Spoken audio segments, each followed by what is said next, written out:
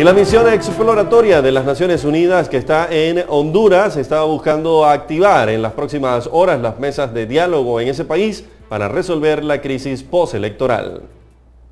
La misión de la ONU sostuvo reuniones con diputados de la alianza opositora para que expusieran sus planteamientos. Lo mismo hicieron con representantes del partido de gobierno, empresarios, gremios y otros sectores sociales.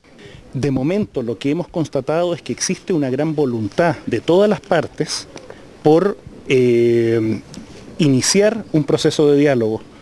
De momento no podemos decir, porque la misión no ha concluido, pero yo sí les puedo decir que con cada uno de los sectores ha demostrado que tiene una necesidad y que la sociedad de Honduras tiene una necesidad de dialogar. El presidente Juan Orlando Hernández también se reunió con los miembros de la misión de las Naciones Unidas.